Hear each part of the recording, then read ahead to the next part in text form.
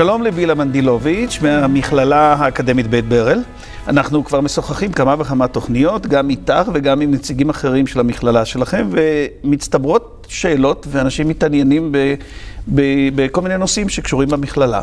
עכשיו, במקום שאנחנו נתרחב בשאלות אה, אה, רחבות, נלך ישר לעניין ונראה מה אנשים שואלים. בבקשה. אז יואב מכרמיאל שואל, איזה מיומנות אני מקבל במסגרת תוכנית הנחיית קבוצות ולאיזה עבודות זה יכול לקדם אותי? אוקיי. כשלומדים אצלנו הנחיית קבוצות, לומדים להבין קבוצה קודם, לומדים להוביל קבוצה, להוביל קבוצה, לייצר תוצר אפקטיבי, לומדים אה, לעבוד מול קונפליקטים שיכולים להתפתח בקבוצה, לייצר שיתופי פעולה, ללמד קבוצה איך עובדים בתנאים של עמימות ואי-ודאות. ואז כשרכשת את הכישורים האלה ואתה כבר יודע איך לעבוד עם קבוצה, אתה בשל לצאת החוצה ולעבוד. ואני אענה לחצי השני של השאלה שלו, של מה הוא יכול לעשות עם זה. כן, מה הוא יעשה עם זה, בדיוק. איפה הוא יכול ללכת לעבוד. אמ, אז אפשר לעסוק בפרויקטים חברתיים, בהתארגנויות קהילתיות, אפשר לעבוד עם ועדי הורים שרוצים לעשות שינויים בבית הספר או בקהילה, אפשר לעבוד בפרויקטים של העצמה נשית, במתנסים, מגוון האפשרויות הוא עצום.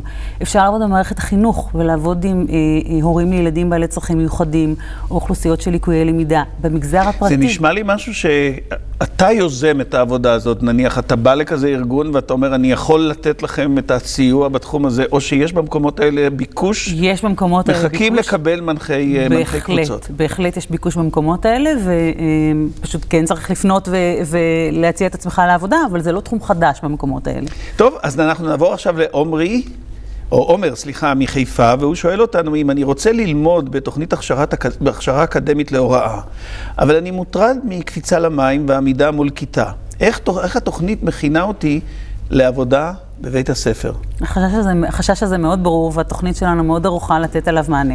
יש צד של הלימודים העיוניים, שמכשיר אותך קודם כל אה, מיומנות הוראה. איך לעמוד מול כיתה, שזה משהו שאנשים מאוד מפחדים ממנו. איך אני שואל שאלות, איך אני בונה מבחן, איך אני בונה מערך שיעור, איך אני מטפל באוכלוסיות שונות שיש לי בכיתה, ליקויי למידה מצד אחד, מחוננים מהצד השני. אז קודם כל אתה מקבל מענה לדברים האלה בצד העיוני. בצד הלא פחות חשוב זה ההתנסות המעשית בבית הספר. זה מה? ההתנסות מעשית כן. כן. בבית הספר. כשאתה סטודנט אצלנו, אתה נכנס לתוך בית ספר, אתה כבר מתנסה בהוראה, Mm-hmm. בפיקוח, אתה משתתף בישיבות צוות, אתה, אתה פוגש ישיבות של אספות הורים, אתה לומד להבין את התפקיד של מורה בתוך המערכת. ההסתכלות היא לא מורה עומד מול גיר בכיתה, אלא הוא בעל תפקיד בתוך מערכת של מה, צריך להבין את כל המערכת ואיך היא עובדת, ואז כשסיימת את תוכנית ההכשרה, אתה מוכן. טוב, ואנחנו נפנה כעת לשאלה הבאה. שני מתל אביב שואלת, סיימתי ללמוד טיפול באומנות.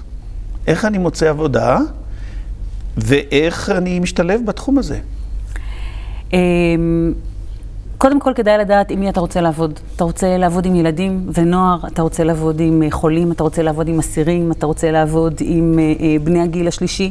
ברגע שהחלטת... אתם צריכים גם לעזור לי להחליט, זה נראה לי החלטה די קשה, עם נכון. מגוון כזה של אפשרויות. זה נכון, אבל אנשים מגיעים לתחום הזה, יש להם כבר איזושהי נטייה כן, לקהל כן, מסוים שאיתו הם כן. מרגישים איתו נוח ורוצים לעבוד. אז אם אתה רוצה לעבוד עם ילדים ונוער, אתה תפנה למערכת החינוך, למפקח על החינוך הרגיל או החינוך המיוחד, ואז תוכל להשתלב בעבודה בבתי ספר, בגני ילדים, במרכזים טיפוליים. אם אתה רוצה לעבוד עם אסירים, אתה תפנה לשב"ס ותעבוד בבתי הכלא. אם אתה רוצה לעבוד עם אה, הגיל השלישי, אז מן הסתם תפנה לבתי דיור מוגן, ואם תרצה לעבוד עם חולים, תפנה למשרד הבריאות ותשתלב בעבודה בבתי חולים.